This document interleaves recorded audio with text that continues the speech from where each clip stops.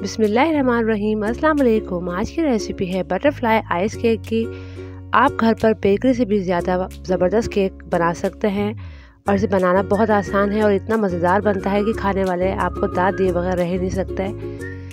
तो बड़ी बड़ी बेकरियों से केक मत ख़रीदिए, घर पर ख़ुद केक बनाइए और उनसे अच्छा बनाइए।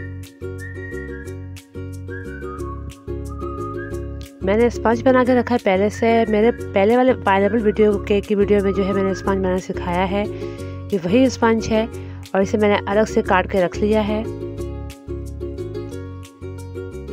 और क्रीम को विप कर लेंगे अच्छी तरह से कि वो बिल्कुल स्टिफ पिक फॉर्म में आ जाए। आपको क्रीम विप करना स्पंज बनाने में कई वीडियो में सिखा चुकी हूँ। अब आपको दिखाती हूँ कि केक को बनाएँगे कैसे। तो मैंने जो सबसे नीचे वाला पोर्शन है उसे उलट दिया है और इस तरह से केक बोर्ड पर रख दिया है। अब सबसे पहले जो है, केक को दूध से अच्छी तरह से सॉफ्ट कर लेंगे। दूध डालने का मकसद ये होता है कि स्पंज जो है वो कहीं से ड्राई ना रहे और बहुत सॉफ्ट और बहुत मज़ेदार हमारा केक बने। बड़ी बड़ी बेकरी में जो केक मिलते हैं, वो इसलिए इतने टेस्टी बनते हैं कि वो अपने स्पंज में कोई ना कोई जूस या दूध का इस्तेमाल ज़रूर करते हैं। दूध डालने के बाद मैंने इसमें विप क्रीम जो है वो लगा दी है। ये आइस केक इतना शानदार बनता है कि आप जब इसे बनाएँगे तो कोई यकीन भी नहीं करेगा कि आपने घर पे बनाया है। बिल्कुल जो बड़ी बड़ी बेकरी में केक मिलते हैं वैसा बनेगा। और इसे बनाना बहुत आसान है। घर पर जब आप, आप केक बनाते हैं तो वो साफ़ सुथरे तरीके से बनाते हैं। हर चीज़ बहुत अच्छी इस्तेमाल करते हैं। इसलिए बहुत टेस्टफुल बनती है। मैंने पाइनएप्पल ट्री ले लिया था पूरा और उसे मैंने अच्छी तरह से पीस लिया है पाइनएप्पल को। और अब इस तरह से हल्के हल्के चंक्स अगर रह जाते हैं तो इसमें कोई मसला नहीं है। आप इसे अच्छी तरह से फैला लीजिएगा और इस तरह से आप इसे अच्छी तरह से स्पंज में फैला लीजिएगा। अब सेकेंड लेयर जो है वो लगा देंगे और उसे भी अच्छी तरह सेट करेंगे केक के ऊपर और उसे भी पहले दूध से अच्छी तरह से दूध उस पर फैला लेंगे और फिर इस पर इसी तरह से जो हमने पहले वाला केक पे किया है, वो उस पर भी करेंगे। आप यहाँ पर चाहें तो फ्लेवर मिल्क भी इस्तेमाल कर सकते हैं, जो फ्लेवर वाले दूध आते हैं। या फिर आप कोई जूस भी इस्तेमाल कर सकते हैं, या फिर शुगर सिरप भी आप यूज़ कर सकते हैं। अब इस तरह करके जो है, इस पर भी हम अच्छी तरह से क्रीम को फैला लेंगे। क्रीम को विप करना भी कई मरतबा सिखा चुकी हूँ, कई वीडियो में सिखा चुकी हूँ। लेकिन इस बार जो केक बनेगा, वो इतना खूबसूरत बनेगा कि आप बाकी में हैरान हो जाएँगे। बहुत आसान तरीके से मैंने इस केक को बनाया है, ताकि जो बिगनर्स हैं, वो भी आराम से केक को बना सकें। इस तरह करके क्रीम को अब अच्छी तरह फैला लीजिएगा। और इस पर भी पाइन जो है, जो पीस के रखे हैं वो, उसकी एक लेयर आ जाएगी। साथ साथ आप केक के साइड पर भी क्रीम लगाते जाइएगा ताकि एक अच्छी सी लेयर उस पर आ जाए। ताकि जब हम केक पे क्रीम अप्लाई करें तो हमें कोई दिक्कत ना हो। अब इस पर थर्ड लेयर लगा देंगे स्पंज की। आप यहाँ चाहें तो यहाँ पर स्पंज को फोर लेयर भी कर सकते हैं।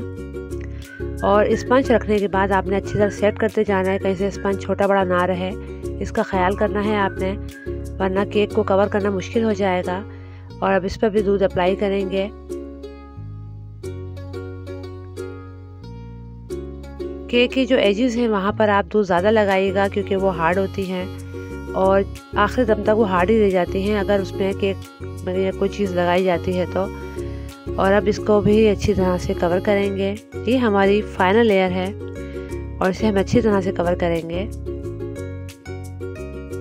बहुत अच्छी तरह से आपने बहुत तरीके से क्रीम को अप्लाई करना है। थोड़ा मुश्किल होता है, लेकिन आपने इसमें मेहनत करनी है। क्योंकि केक जितना फैंसी होता है, खूबसूरती से बना होता है, वो उतना प्यारा लगता है। और इस तरह क्रीम ले लेके आप इसे लगाते जाएँ और इसे पेस्ट करते जाएँ।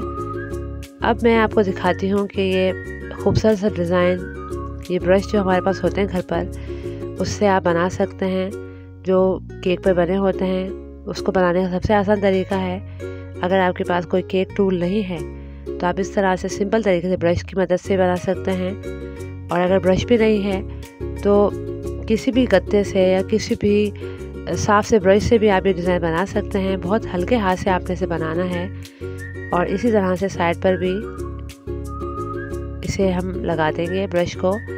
आप देखिए कितना खूबसूरत केक पर एक बहुत ही प्यारा सा, सिंपल सा डिज़ाइन आ गया है, जो कि बड़ी बड़ी बेकरी में केक बिकते हैं, उन पर अक्सर होता है। अब पाइपिंग बैग की मैंने जो नोज़ल ली है, वो बिल्कुल राउंड ली है, सिंपल वाली ली है। इस मैंने क्रीम को जो है, एक पोर्शन में मैंने पिंक कलर मिला के रख लिया था, ताकि जो डिज़ाइन हम केक पर लगाएँ, वो दो कलर में आए। तो इस तरह करके पिंक और वाइट दोनों मैंने क्रीम भर ली है पाइपिंग बैग में और इसे अब डिज़ाइनिंग करेंगे केक पर। इस तरह से सबसे पहले जो फूल बनाएँगे, हम फ्लावर बनाएँगे। तो सबसे पहले राउंड राउंड से आपने डॉट लगाने हैं और इन डॉट से मैं आपको बनाना सिखाऊँगी कितने प्यारे फ्लावर्स बना सकते हैं आप लोग। और हल्के हल्के सा इसमें पिंक शेड भी आएगा, बहुत ज़्यादा नहीं, हल्का हल्का सा आएगा जब इसे फैलाएँगे। तो इसे आप देखिए, किसी भी टूथपिक से पिन से शाही स्टिक से या माचिस की तीली जो होती है, आप उससे भी इस तरह से बना सकते हैं। मैंने आपको पहला ये बनाना सिखाया इस तरह। अगर आप मेहंदी में एक्सपर्ट हैं तो आप अपने केक में किसी किस्म का डिज़ाइन भी बना सकते हैं। और अगर आप एक्सपर्ट नहीं हैं तो इस तरह छोटे छोटे से डिज़ाइन आप अपने केक पर डाल सकते हैं। मैंने आपको बिल्कुल सिंपल तरीके से फ्लावर बनाना सिखाए हैं। बहुत ओवर आपने केक को नहीं करना, कि पूरे आपने फ्लावर से बना दी, भर दिया उन्हें तो बेकार हो जाएगा बिल्कुल। इस चीज़ को माइंड में रखना है क्योंकि मैं इसमें बटरफ्लाई लगाने वाली हूँ। आजकल बहुत ज़्यादा फैंसी बटरफ्लाई केक के लिए आई हुई हैं मार्केट में। मेरी छोटी सिस्टर ने मुझे ला के दिया था बटरफ्लाई का पूरा पैकेट और मुझसे कहा था कि आप इसे केक में बना के देखिएगा। तो फिर मैंने जब बटरफ्लाई को देखा तो फिर मेरे दिमाग में एक आइडिया आया। डिफरेंट कलर में ये बटरफ्लाई आ जाती हैं। आप जिस तरह चाहें, जिस कलर में चाहें आप इसे लगाइएगा। अब इस तरह करके मैंने छोटे छोटे फ्लावर बना लिए हैं, थोड़े हार्ट बना लिए हैं। और साथ साथ में उस पर बटरफ्लाई भी लगाती जा रही हूँ। अगर आपके पास राउंड नोज़ल नहीं है केक की जो टिप मिलती है वो नहीं है तो आप यहाँ पर सिंपल जो पाइपिंग बैग होता है उसे आप काट कर भी ये वाला डिज़ाइन बना सकते हैं। क्योंकि सिंपल तरीके से बना हुआ केक है तो उसमें मैंने कोई ज़्यादा फैंसी इस्तेमाल नहीं की। और थोड़ा सा नीचे भी डिज़ाइन लगा लेंगे, ताकि केक अच्छा लगे दिखने में। आप देख सकते हैं कि कितना खूबसूरत हमारा केक रेडी हुआ है। अब इसके ऊपर जो है चेरी से डेकोरेशन कर लेंगे। अगर आपके पास चेरीज नहीं है तो कोई मसला नहीं है। आप इसे सिंपल रहने दीजिए तो ये सिंपल भी बहुत ही खूबसूरत है। पर इसे सिंपल तरीके से आप इस तरह से चेरीज जो हैं, वो छोटी छोटी से लेकर आप इसे आप केक पर अप्लाई करते जाएँ। कुछ ऊपर लगा दें, कुछ साइड पर लगा दें। तो इससे ये होगा कि आपका केक बहुत ही खूबसूरत लगेगा। और अगर आपके पास चेरीज़ नहीं है तो आप यहाँ पर सिंपल भी अगर केक को रखेंगे तो भी बहुत अच्छा लगेगा।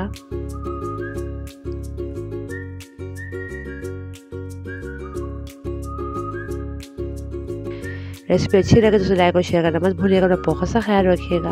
अल्लाह हाफिज़।